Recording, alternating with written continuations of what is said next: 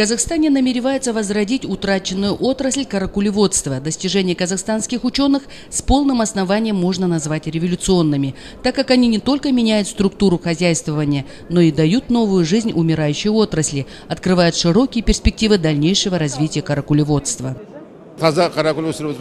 Численность каракулевых овец к 90-м годам прошлого столетия превышала 6 миллионов голов, а производство каракуля 2,5 миллиона шкурок. В министерстве дали задание на возрождение каракулеводства. Я был в Кызылорде, там насчитывается 42 тысячи голов каракулевых овец чистой породы, хотя в отчете они дают 1 миллион. В Жамбыле осталось всего три хозяйства.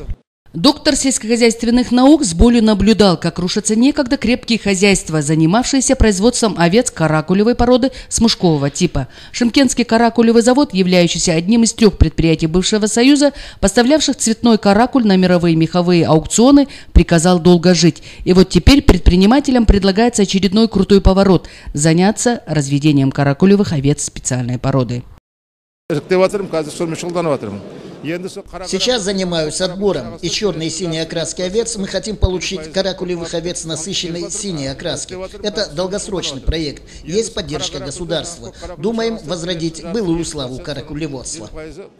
Практическое решение поставленных перед учеными и животноводными задач позволит на практике получить высокосортный каракуль и насытить внутренний и внешний рынок конкурентоспособной продукции. Так что недалек тот день, когда наши модницы будут щеголять в каракулевых манто, а силовые структуры сошьют новые папахи из казахстанского каракуля.